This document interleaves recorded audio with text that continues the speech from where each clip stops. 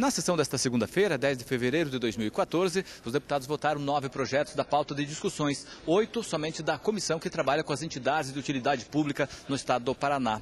O item número um revoga várias leis eh, de entidades que não desenvolvem mais suas atividades com CNPJ baixados perante o Cadastro Nacional da Pessoa Jurídica da Receita Federal. O item número dois da mesma comissão revoga também várias leis que outorgaram título de utilidade pública a entidades que não desenvolvem mais suas atividades com CNPJ baixado perante o Cadastro Nacional da Pessoa Jurídica da Receita Federal. O item número 3, também da mesma comissão, todos em segunda votação, revoga várias leis que outorgaram título de utilidade pública a entidades que não desenvolvem mais suas atividades com CNPJ baixados perante o Cadastro Nacional da Pessoa Jurídica da Receita Federal. O item 4, também segunda votação, projetos da mesma comissão que revogam várias leis com o mesmo objetivo. São entidades que não tiveram mais o cadastro da pessoa jurídica é, baixados junto à Receita Federal. O item número 5, este está em primeira discussão, é um projeto da mesma comissão que revoga várias leis que outorgaram título de utilidade pública a entidades que não desenvolvem mais suas atividades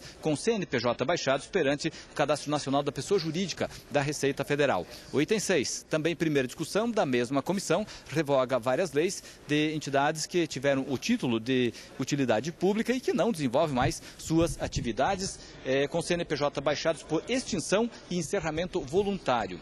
O item 7 da mesma comissão revoga várias leis de entidades que tiveram título de utilidade pública otorgado e que não desenvolvem mais suas atividades. O item 8 da mesma forma, da mesma comissão, também são várias leis que foram por, eh, várias leis que foram extintas por este projeto. O item número 9, primeira discussão, projeto de autoria da Comissão Parlamentar de Inquérito, aprova o relatório final da Comissão Parlamentar de Inquérito para averiguar a situação e possíveis irregularidades irregularidades dos grandes devedores de tributos do Estado do Paraná. Esse projeto foi aprovado em primeira discussão. Esses os nove itens que constavam da pauta desta segunda-feira. A sessão será retomada aqui no plenário nesta terça-feira às 14 horas e 30 minutos. Voltamos ao estúdio.